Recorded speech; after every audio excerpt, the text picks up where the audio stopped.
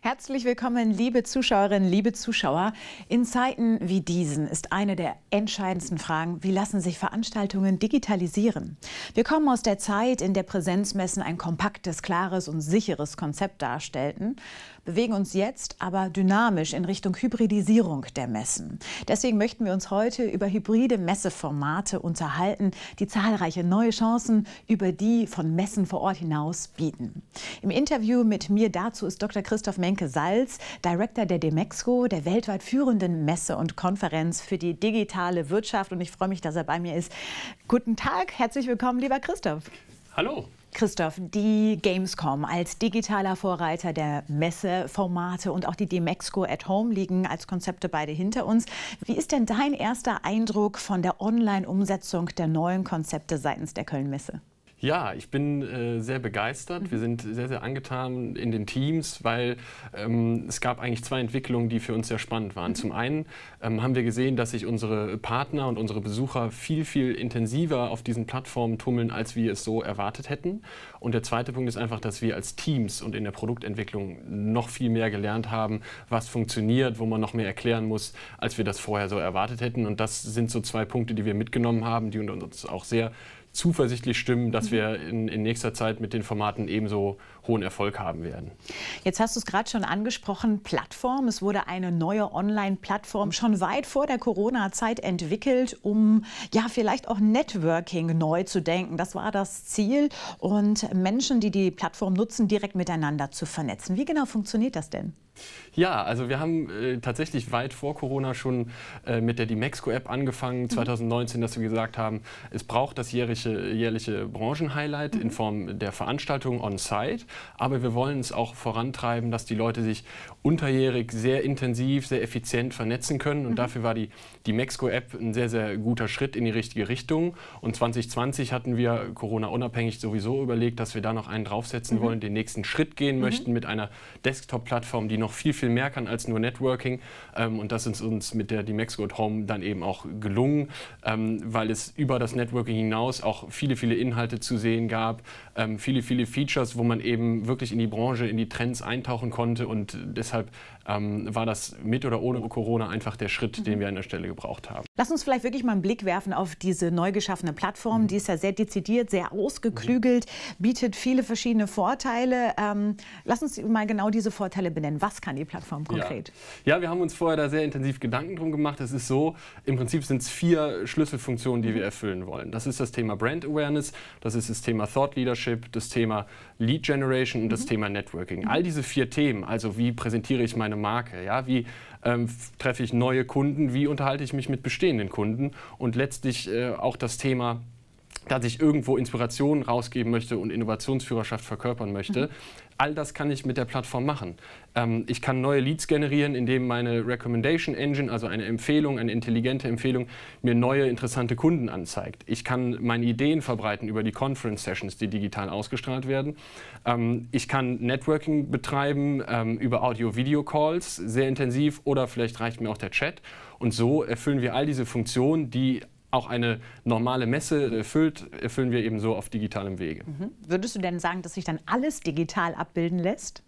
Nein, da äh, widerspreche ich unbedingt. Also es ist ganz sicher so, und das haben wir auch gemerkt, auch in den, in den Feedbacks unserer Besucher und Aussteller, die persönliche Begegnung lässt sich nicht ersetzen. Warum? Weil insbesondere, wenn ich einen Neukunden treffe, da muss Vertrauen aufgebaut werden, mhm. um eine nachhaltige Geschäftsbeziehung entstehen zu lassen. Und es ist auch so, dass ich ähm, ja, das Erlebnis vor Ort wesentlich intensiver erlebe, wenn ich dort bin und es eben dann auch wiederum nachhaltiger ist. Zudem ähm, ist das Thema Zufall auch ein ganz wichtiges auf einer Messe. Wen treffe ich zufällig? Vielleicht am Kaffeestand ähm, oder tatsächlich auf dem Weg zum nächsten Aussteller. Und das versuchen wir sehr gut mit der Digitalplattform abzubilden aber es lässt sich in Gänze eben nicht transportieren. Mhm. Ich würde gerne einen sogenannten Deep Dive bezüglich der Tools wagen. Welche Funktionsbausteine können wie und wofür ganz konkret genutzt werden? Ja, vielleicht ist dann eine Reise über die Plattform, eine gedankliche Reise gar nicht so mhm. schlecht. Mhm. Also wenn ich als Besucher auf die Plattform komme, dann sehe ich erstmal, wird mir angezeigt, wer spricht gerade auf welcher digitalen Stage. Mhm. Vielleicht gehe ich da rein, vielleicht auch nicht. Aber wenn ich reingehe, kann ich direkt mit dem Protagonisten, der eben spricht, oder eben mit der Community, die sich das anhört, über einen Chat interagieren. mhm. Ähm, kann nachher, nach dem Talk vielleicht auch noch einsteigen in 1 zu 1 Gespräche was natürlich eine sehr, sehr hohe Interaktion fördert. Dann kann ich mir beispielsweise den Aussteller, der dort gerade gesprochen hat, nochmal auf seinem Profil ansehen, kann mhm. mir anschauen, welche Produkte bietet er, multimedial, mit Videos etc. Und ich kann mir dort den richtigen Ansprechpartner aussuchen, wer ist der richtige für mein Bedürfnis mhm. gegenüber diesem Aussteller. So, dann wird mir natürlich immer noch nicht langweilig, denn ähm, wenn ich dann so die ersten Schritte gemacht habe, kann ich auch mal einen Blick auf den sogenannten Networking Graph richten. Mhm. Was ist das? Auf Basis der Besuchsinteressen, die ich als Besucher vorher angegeben habe, werden mir eben interessante neue Kontakte angezeigt. Das heißt, wenn ich jetzt sage, ich interessiere mich für Möbelbeschläge, dann werden mir wiederum Leute angezeigt, die entweder diese Beschläge anbieten oder eben äh, auch Beschläge nutzen und ich kann mhm. mir äh, da jemanden raussuchen, der sich mit mir darüber austauscht. Jetzt hast du ja relativ viel ähm, davon gesprochen, wie es ist, wenn ein äh, Messebesucher als digitaler Messebesucher die Online-Plattform besucht. Bezogen auf die Aussteller, denn ohne Aussteller keine Messe, egal ob on-site oder digital. Wie begegnet ihr, wie begegnet die Köln-Messe den Ausstellern hinsichtlich Themen wie weltweiter Kundentreff, Neuheitenvorstellung und vor allen Dingen auch Socializing, aber unter Corona-Bedingungen? Das genau ist natürlich ein wichtiger Punkt, weil wir wollen nicht nur eine Alternative bieten unter Corona-Bedingungen, sondern wir wollen die Reichweiten sogar über das hinaus, was eine Messe normalerweise abbilden kann, mhm. erweitern. Mhm. Wir wissen heute nicht, welche Restriktionen vielleicht im Frühjahr oder im, im Sommer herrschen werden. Äh, und trotzdem können wir jetzt schon sagen, jeder, der sich innerhalb einer Branche über Trends und Produkte informieren möchte, sich mit Leuten austauschen möchte, der wird diese Trends und Produkte sehen können, er wird sich austauschen können. Ob er das dann in Köln tut, hier bei uns vor Ort oder auf der Plattform, bleibt ihm überlassen. Aber wir haben zahlreiche Features an der Hand, wo man eben sehen kann, genau das, was ich sonst auf der Messe machen kann, mit einigen wenigen Abstrichen, kann ich aber auch zumindest mhm. virtuell machen und muss so auf sehr, sehr wenig trotz des New Normal verzichten. Mhm. Das heißt, die Aussteller können wirklich ganz konkret ihre Produkte und auch ihre Lösungen auf dieser Plattform präsentieren? Ganz genau, ganz genau. Das können Sie in Ihrem äh, Aussteller-Showroom tun. Sie können dort multimedial auch Videoclips zeigen, Produktbeschreibungen hochladen. Wir empfehlen aber auch trotzdem, dass man sich durchaus in der Conference engagiert, weil das immer ein sehr, sehr spannender Einfallsweg mhm. ist, ähm, ein sehr, sehr präsenter Einfallsweg ist, wo eben Aussteller sozusagen den ersten Schritt machen und auch sehr stark gesehen werden und darauf hinauf äh, beschäftigen sich die, die Partner und die Besucher dann sehr, sehr intensiv mit diesen Ausstellern und auch mit den Produkten, die dort mhm. präsentiert werden. Mhm. Jetzt haben wir relativ viel über die technischen Features gesprochen. Was ist denn ein weiterer zentraler Mehrwert, den die Online-Plattform der Köln-Messe, die ja unterschiedlich genutzt werden kann, wirklich bietet, verglichen mit ausstellereigenen Plattformen? Also eins, was wir auch als ein wichtiges Learning mitgenommen haben, als Aussteller weiß ich nach einer Messe eigentlich nur von den Leuten, mit denen ich direkt gesprochen habe, ähm, wer das ist, was sie für Interessen haben. Mhm. Ähm, bei so einer digitalen Veranstaltung geht das weit darüber hinaus. Ich kann sozusagen im übertragenen Sinne genau sehen, wer hat sich meinen Stand angeschaut und war vielleicht noch nicht so weit, mich anzusprechen, aber vielleicht mache ich als Aussteller ja den ersten Schritt. Mhm. Und das lässt sich virtuell super nachverfolgen. Mhm. Ähm, genauso kann ich genau sehen, wie wird meine, meine Conference-Session aufgenommen, wie viele Leute waren dort drin, wer war dort drin und kann diese Leute eben im Nachgang ganz konsequent ansprechen im Vergleich zu einer ähm, Bühne on-site, wo ich eben nie so genau sagen kann, wer ist jetzt eben mal kurz vorbeigelaufen, wer hat sich dort hineingesetzt und sich wirklich beschäftigt, weil auch dort sind Nachfragen ja oft auch gar nicht so präsent mhm. und werden auch nicht vorgenommen. Digital kann ich einfach sehr genau sehen, wer war dabei, wer hat sich das angehört und im Nachgang vielleicht auch proaktiv auf mhm. den Besucher zugehen und Nachfragen von meiner Seite aus stellen. Was glaubst du denn, was funktioniert denn wirklich nur bei einem physischen Messeauftritt und was kann eventuell ein ergänzender digitaler Auftritt noch verbessern? Ja, ähm, es gibt viele Sachen, aber ganz bestimmt ist es so, dass wenn ich Inhalte live konsumiere, das kennt jeder auch aus dem privaten Umfeld, ist es einfach noch mal intensiver und ich mhm. nehme vielleicht auch mehr Erlebnis, äh, mehr Wissen auch an der Stelle mit. Ähm, zweiter Punkt, der mir unbedingt aufgefallen ist, es gibt einfach Produkte, die kann man sich im Video anschauen, man kann sie auch per Virtual Reality vielleicht ansehen, aber vielleicht möchte ich auch mal eine Oberfläche in unterschiedlichen Lichtverhältnissen sehen. Ich möchte vielleicht auch merken, wie das Leder riecht äh, von einem Produkt. Und das sind so Sachen, die lassen sich digital nicht transportieren. Ähm, trotzdem versuchen wir natürlich sehr, sehr weit die Schwelle hochzurücken, wo man eben Sachen digital zeigen kann, aber bei bestimmten haptischen Produkten sind da einfach äh, ganz klar Grenzen gesetzt. Ja, absolut. Vor allen Dingen, manchmal ist es ja auch wirklich so, dass die, der Unterhaltungsfaktor oder auch die Gefühle, die Emotionen eine Rolle spielen. Und gibt es vielleicht noch andere Mehrwerte der Plattform für die Messebesucher, für den digitalen Messebesucher? Ja, für den Messebesucher ist sie erstmal ganz klar die Garantie, egal was passiert. Ähm, ich bin wann auch immer über die Trends, über die Produkte, über das Branchengeflüster meiner Branche absolut hundertprozentig informiert, sei es on-site oder sei es eben aus der Ferne äh, vor dem Desktop zu Hause. Das ist ein, ein sehr, sehr wichtiger Vorteil. Mhm. Und ich kann einfach auf der Digitalplattform extrem effizient kommunizieren. Mhm. Ich weiß, dass ich dort nahezu ohne Streuverlust ausschließlich Branchenmitglieder treffe und mich nicht in den Weiten des, der Social-Media-Plattformen äh, begebe, sondern eben wirklich dezidiert meine Branche treffe. Mhm. Und wenn ich dort ein Anliegen habe, mich mit den Leuten auch direkt austauschen kann und übrigens nicht nur per Chat, sondern ich kann auch einfach per Videocall anrufen. Mhm. Ganz wichtiger Bestandteil des sogenannten New Normal und wir bieten es halt alles in einem an.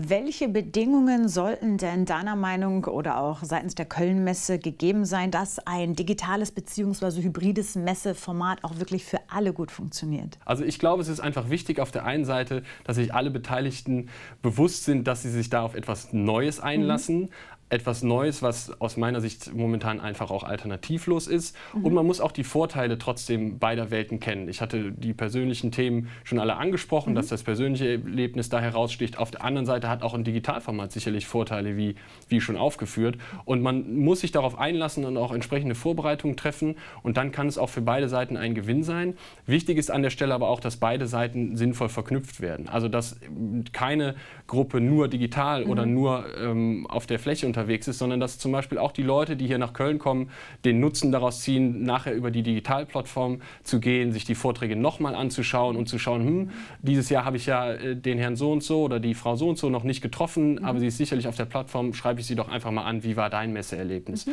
Und so lässt sich das ganz sinnvoll verheiraten und so mhm. Mehrwerte für beide mhm. Welten erzielen. Mhm. Jetzt stelle ich mir das so vor, wenn man vielleicht erstmal so ein bisschen Berührungsschwierigkeiten mit dieser ganzen Digitalisierung und Hybridisierung der Messen hat. Ähm, wie einfach einfach ist die Plattform im Handling? Oder gibt es Möglichkeiten, dass die Köln-Messe beim Setup des digitalen Auftritts auch unterstützt?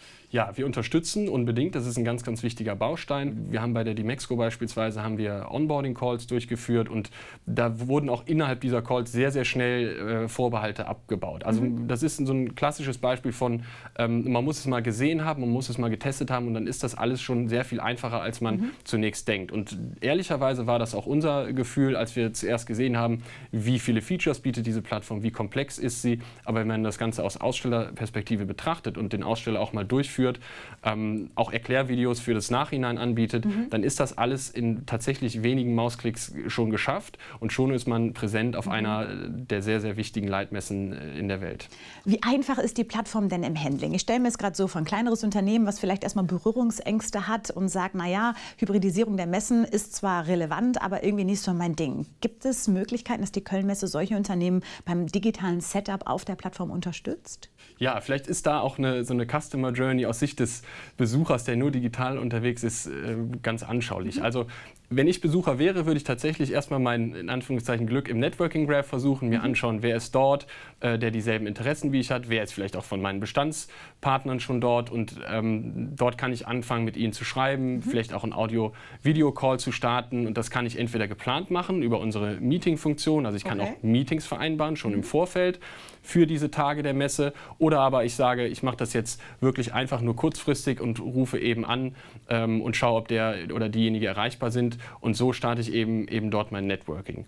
Es gibt noch ein weiteres äh, Feature darüber hinaus. Es gibt die sogenannten äh, Virtual Café Spaces. Dort kann ich als Aussteller Leute einladen in einen wirklich abgeschlossenen Bereich äh, mit einer bestimmten Maximalanzahl an Besuchern. Das können Entscheider sein, das können einfach nur sehr innovative äh, Besucherzielgruppen sein, wo ich sage, ich möchte jetzt diese sagen wir mal 100 auf einmal sprechen und ich kann sozusagen auch regeln, wer kommt in diesen Raum rein und mhm. wer nicht. Auch das ist ein interessantes Feature für unsere Aussteller und so bieten sich da insgesamt verschiedene Möglichkeiten mhm. zu networken ähm, und Meinungen auszutauschen und dafür ähm, ist die Plattform eigentlich sehr gut geeignet. Würdest du also sagen, dass die Plattform interaktiver ist als so diese ganz klassischen Webinare, die wir ja jetzt in den letzten Monaten wirklich zur Genüge auch hatten? Ja, unbedingt. Also wir merken schon auch, ähm, dass es eine bestimmte Form von Müdigkeit gibt ähm, gegenüber Videokonferenzen und Webinars, ähm, weil es häufig ja auch in Monologen ausartet, wenn man das so sagen darf. Alle unsere Conference Sessions haben die Option, dass eben parallel ein Chat läuft. Ich kann mich dort austauschen, auch über den Redner, vielleicht sogar mit dem Redner, wenn er sich darauf einlässt. Und der Redner selber oder der Aussteller selber, der die Conference Session hat, kann interaktive Funktionen äh, präsentieren. Er kann zum Beispiel vorher eine Umfrage starten, er mhm. kann auch ein QA zulassen und kann während seines Vortrages tatsächlich sagen, ähm, stimmt ihr mir an dieser oder jener Stelle zu, was sind eure Bedürfnisse, was braucht ihr mehr und die, die Zuhörer können tatsächlich abstimmen in Echtzeit, ähm, was sie dort eben interessiert oder wie auch immer sie dort ihre Meinung zum Ausdruck bringen möchten. Das heißt, ein interaktiver Dialog ist ein Stück weit garantiert. Das heißt, wenn ich gerade eine brennende Frage habe, kann ich die über eine Chatfunktion reinschießen und in der Hoffnung, dass dann eben der Vortragende sie liest und auch beantwortet, dann kann man wirklich in eine Art interaktiven Dialog treten. Genau, kann man. Und das bleibt natürlich dem Vortragenden überlassen. Er kann sofort auf diese Frage reagieren oder aber der Aussteller beziehungsweise der Redner schaut sich die Fragen im Nachhinein nochmal an und, und kann sehr genau rein. sagen, wer hat gefragt und äh, liefert entsprechend an. Vielleicht noch mal eine Frage zu äh, wirtschaftlichen Aspekten, denn das sind natürlich auch relevante Faktoren. Wie können denn zum Beispiel zusätzliche Umsätze generiert werden, so perspektivisch gesehen? Also wir glauben schon, dass dadurch, dass die Reichweite der Plattform wächst, das mhm. wird sie sicherlich tun, dass alleine dadurch zusätzliche Umsätze entstehen. Ähm, da sind wir von überzeugt. Ähm, und das ist ja schon so mal ein sehr, sehr wichtiger, wichtiger mhm. Baustein, mhm. dass ich einfach auch das Potenzial, an das ich meine Produkte liefere, mhm. ähm, einfach vielleicht sogar um ein Vielfaches steigt. Und ich erreiche dadurch mehr Leute, als ich vorher auf der On-Site-Messe konnte. Und dadurch sind wir schon auch der Auffassung, dass das zu Umwachs, äh, Umsatzwachstum führen kann an der Stelle. Mhm. So dass es auch lohnenswert ist für einen Aussteller, sich wirklich bei der Hybridisierung der Messen äh, mit gestalterisch tätig zu sein. Das ist ja gerade so quasi in den Kinderschuhen und jetzt hat man die Möglichkeit auch wirklich noch was zu gestalten und wirklich am Anfang mit dabei zu sein. Ganz genau, ganz genau. Und es ist einfach für den Aussteller aus meiner Sicht ähm, die Garantie, dass ich nicht nur den bisherigen Markt erreiche, sondern auch alle darüber hinaus, die ich bisher noch nicht erreicht habe. Mhm. Und da das, wie gesagt, ein wichtiger Vorteil der Digitalplattform, kann ich sogar über das hinausgehen, was ich normalerweise auf der On-Site-Messe so erreiche. Das heißt, das Tandem aus beidem ist die Lösung dafür? Das sehe ich so, also das Tandem aus beidem mit der Messe äh, vor Ort als Nonplusultra, was ich aber digital hervorragend ergänzen kann, um eben auch unterjährig am Ball zu bleiben und unterjährig mit den Leuten zu netzwerken und zeitgleich auch eine Alternative anzubieten für die Menschen, die eben es in diesem Jahr nicht zu einer Messe schaffen und eben über diesen Weg Netzwerken, Leads generieren wollen und Produkte sehen möchten. Jetzt hast du ja vorhin von Lead-Generierung gesprochen. Gibt es da eventuell irgendwie einen Best Case aus der Vergangenheit, aus der jüngsten, den du unseren Zuschauerinnen und Zuschauern darstellen könntest? Ja, klar. Also nenne jetzt keine Namen, aber wir haben mit, mit mehreren Ausstellern im Feedbackgespräch nach der Veranstaltung einfach erfahren, dass sie wirklich überwältigt waren, ähm, wie viele Leads sie allein über ihre Präsenz auf der die Max Home eben generieren konnten. Und mhm. es waren tatsächlich äh, zum Teil sogar mehr als die Leads, die sie auf der realen Messe sonst erfahren. Ähm, das ist dann unterschiedlich zu bewerten, weil nicht jeder digitale Lead ist auch ein Lead, der bei mir persönlich am Stand vor Ort vorbeigeschaut aufgebaut hat. Und trotzdem liegt dort eben ein sehr, sehr hohes Potenzial an vielen Unbekannten, die man auf der realen Messe hatte, die sich den Stand vielleicht angesehen haben, aber nie wirklich auf dem Radar waren. Und mhm. dieses Radar ist eben digital gegeben und ich, ich kann eben sehr genau schauen, ähm, wer interessiert sich für meine Themen, wer interessiert sich für meine Marke, meine Produkte. Und ja, wie gesagt, da waren einige unserer Partner wirklich, wirklich sehr angetan, was uns dann wiederum auch sehr zufriedenstellt, ähm, dass dort die Erwartungen erheblich übertroffen wurden. Vielen Dank, dass du uns einen Einblick Einblick äh, gewähren konntest in mhm. das Thema hybride Messen seitens der Köln-Messe. Mhm. Ein Dankeschön an dich, Christoph. Dankeschön.